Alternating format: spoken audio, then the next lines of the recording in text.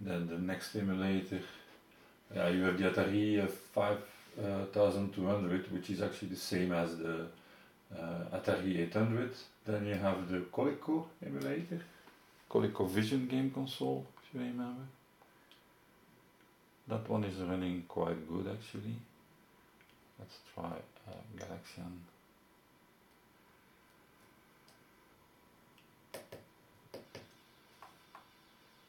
Also with sound.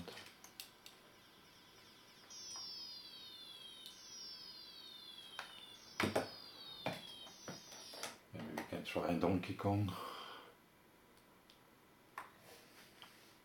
I don't have any uh, keyboard support, but with the, the joystick button and the two extra keys, uh, it's enough at least to simulate what you need to start games.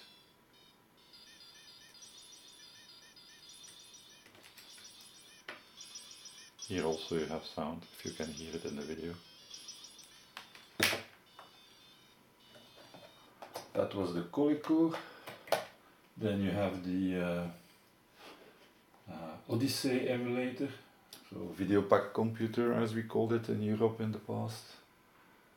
Uh, let's take uh, Acrobat. There also only one key needed. If you remember that computer,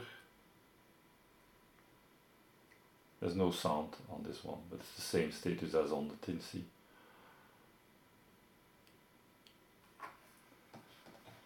That's the video pack. Let's try another game maybe of this one, like uh, this one, if you remember that game.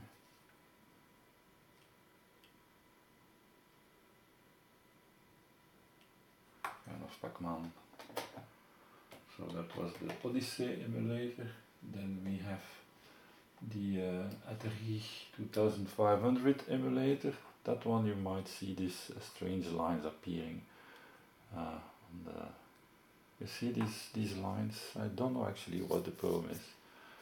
Uh, it's like this VGA library is somehow some critical and some depending on what is actually displayed or there is a mistake it can also be that I'm writing uh, outside the buffer. I don't know. Must be something stupid.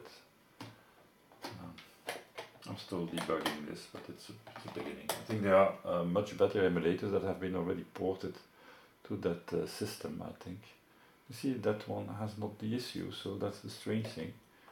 Uh, some games have the issue and some uh, don't have the issue, so that's where I'm a bit lost. Pac-Man, there's no sound that's like on the Teensy.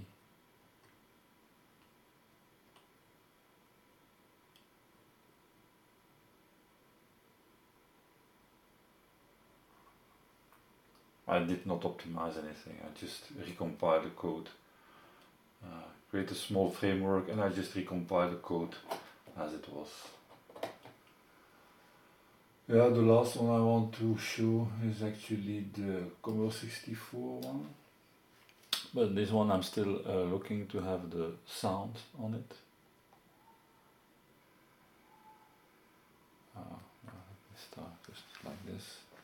So here also I don't have any keyboard emulation, but I have just a trick to actually load some ROMs.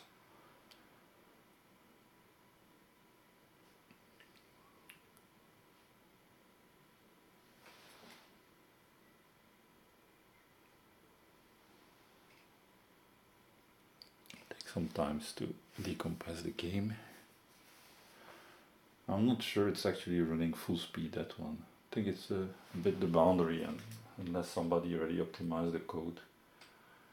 Uh, so 1942 game seems to be the proper speed but without the sound it's difficult to judge. So as you can see you can play the game. Seems to work fine.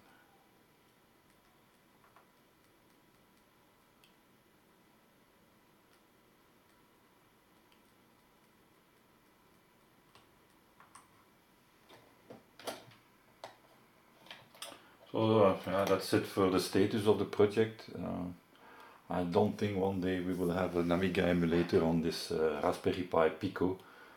But yeah, the goal was just to have yet another microcontroller supported uh, into the project. Um, yeah, that's, uh, that's it for the video. Let's uh, finish with Blue Max maybe. Last War 64 game. The code is available on the GitHub, so you can uh, try it. The binaries are also there. You can maybe try to optimize uh, everything if you want uh, to contribute to the project. Uh, I think yeah, it's a work in progress like many things I do actually. Never go to the end. The only emulator that was working quite well on the Teensy 4.1 again, that was the Amiga emulator. Uh, the rest has been really quick port actually. That's it for the video. Thank you and I hope to see you soon.